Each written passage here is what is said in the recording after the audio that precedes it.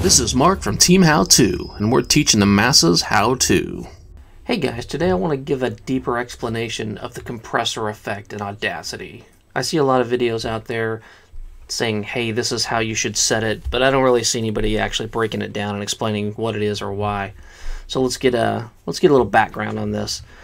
To use this feature, you generally want to come in, highlight the area you want to affect, go to your effects, and scroll on down to compressor. So here we have a lot of different settings, a lot of different things. Let me just go through a little bit. Basically, the compressor effect reduces the dynamic range of audio. One of the main purposes of reducing the dynamic range is to permit the audio to be amplified further without clipping than it would otherwise be possible. Therefore, by default, the compressor amplifies audio as much as possible after compression.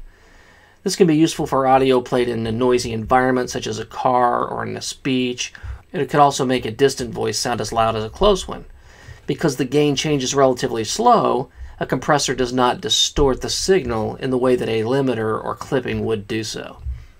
Now that we have a little bit better understanding exactly what the compressor is, let's go into each of these settings. We'll start with threshold here at the top. The threshold is the level above which the compressor is applied to the audio. To break that down a little deeper, uh, the threshold is the volume level at which the compressor starts to be applied. Therefore, when any of the levels reach that threshold, it will start pulling them down and won't let them get past there. Most people will recommend a minus 12 to a minus 20 dB for the threshold. Next thing down is the noise floor.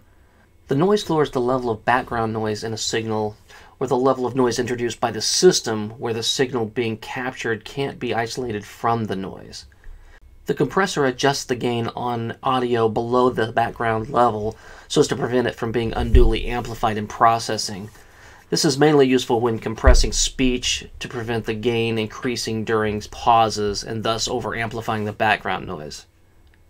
What's best for me may not necessarily be best for you in the noise floor. It really depends a lot on the ambient noises in the background and where you're at.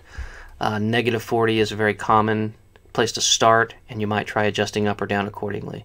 Now the next setting down is the ratio. What this one is is fairly simple. The In this case, I've got this set at negative 13 dB. Anything that happens in the compression beyond the negative 13 dB, this is at what factor that will be compressed. Say, for instance, I have a negative 13 dB. The, some of my spikes run up to a negative, say, negative 19 dB, which is 6 dB higher. The 3 to 1 compression, we would take the 6 dB that it's higher than the 13 and divide that by the 3 to 1, that would be 6 divided by 3, so 2. So you would have a 2 decibel compression on that spike. So if you wanted that higher or lower, you could adjust that accordingly. Okay, so the next setting down is the attack time. The attack time is how soon the compressor starts to compress the dynamics after the threshold is exceeded. If the volume changes are slow, you can push this to a high value. Short attack times will result in a fast response to sudden loud sounds, but will make the changes in volume much more obvious to listeners. So I don't suggest getting too high of a number here. So personally, I would start this at a 0.2, and if you start noticing quick fluctuations in your sound, you might try to run this down a little bit from there. The next setting down is the release time. And this is how soon the compressor starts to release the volume level back to the normal level after it drops below the threshold. A long time value will tend to lose quiet sounds that come after loud noises, but will avoid the volume being raised too much during short, quiet sections like pauses in speech. The next setting down is this checkbox for makeup gain for 0 dB after compressing. All that does is simply does the amplifying effect as if you were to go in and do it after the fact, but by checking this, it does it automatically for you, which in most cases I would suggest doing, and that basically amplifies the resultant audio in the selected tracks after compressing to the peak level of 0 dB, which is the default, and it's what I usually use unless I have a good reason not to. And the last setting we have is one more checkbox called compress based on peaks, and that is not checked by default, and I wouldn't normally check it I've played with it a little and I can see the value. So basically what it does is um, it will base the threshold and gain adjustments on the peak value of that waveform rather than the RMS value, which is the default. Uh, so what happens is when you're using the RMS, which is the default, the compressor uses a downward compression, making louder sounds above the threshold quieter while leaving the quieter ones below it untouched. When using peak values, upwards compression is applied, which makes the audio louder but amplifies the louder sounds above the thresholds progressively less than those below it. So that's everything we have on the settings. I would normally then just hit OK, let it do its thing. So in my opinion, I don't think there's a catch-all sort of setting that you could just use and say this should be great for everything.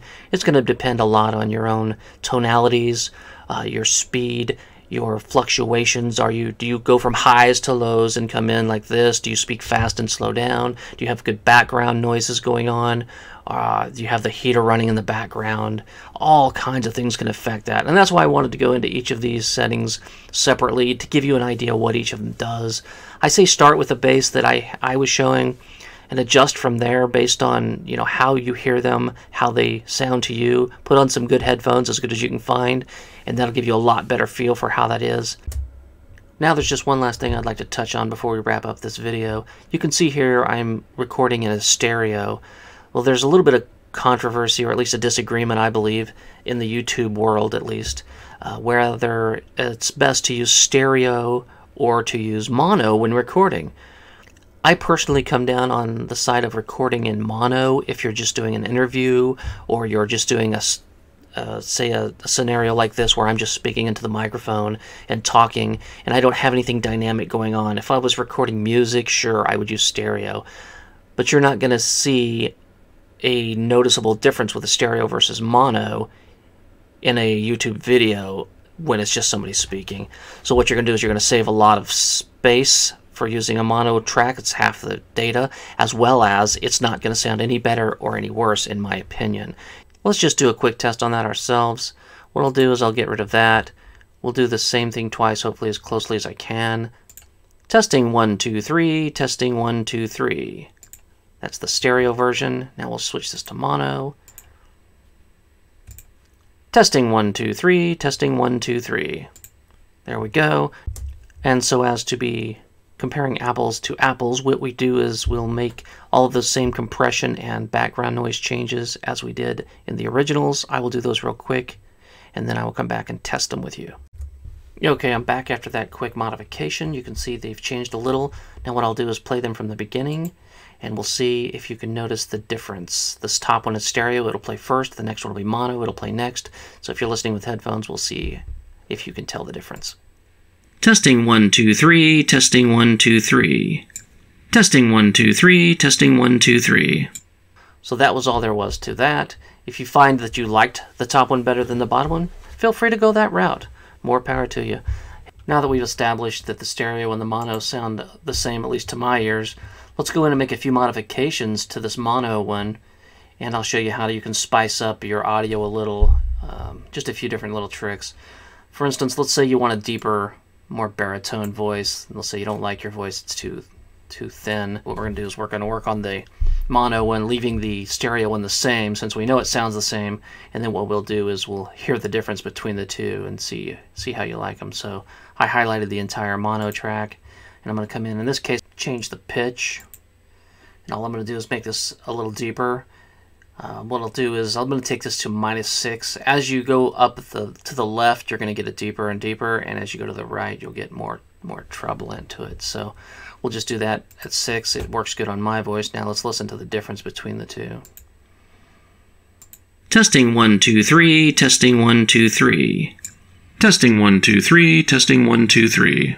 So you can see my voice there sounds quite a bit fuller and quite a bit uh, deeper. I'll do Control Z to make that back how it was. We'll double check, make sure. Two, three. Testing one, two, three. Test. Yeah, so that's back how it was. Another good thing you can do is come into the equalizer. So we'll highlight our entire track. We'll come down to the equalization. And you can do these sort of on your own, or you can come down here and so we could add a little bass this way. We'll bass boost it here. And if we want to add a little treble as well, you can't do them at the same time but you can come in and click a couple of spots like so and just drag them up. So let's add a little bit of treble as well. See if that sounds any better. You saw it spiced it up quite a bit. Let's see how the sound is. Testing one, two, three, testing one, two, three. Testing one, two, three, testing one, two, three. Now to me that sounds a little crisper, a little a little punchier, so I like it better. If you don't, no big deal. Okay, so we're gonna come in here and do one last thing. We're gonna highlight it. We're gonna come up to the effects, and we're gonna come down here to the reverb. And this is just gonna get you to sound like you're into some sort of a large stadium or something. And you'd probably want to bring the size down a bit. Let's show you what the preview looks like here. Testing one, two, three, testing one, two, three. Definitely sounds like you're in the bathroom. So let's come down a little farther, see what that sounds like. Testing one, two, three, testing one, two, three. You'd only use this on an oddball effect or something, and there's this, the, there's so many different uh, variations you can do on this. You'd have to play with them for days to ever figure it all out. I'll just hit OK here, just to give you a feel. So it would sound a bit like this. Here's before and after. Testing one, two, three, testing one, two, three. Testing one, two, three, testing one, two, three. So those are a few uh, cute little tricks that you can use. I think everybody's aware of the fade out. Guess I could show you that one time super quick. This is just fading it out. If you need it to fade together with something else, very simple trick. You can see it brings it down like that. Well, that's all I really got for you today. I hope some of that helped. I hope you picked up at least some little trick to help you along the way. Uh, good luck. Hey, did you remember to subscribe?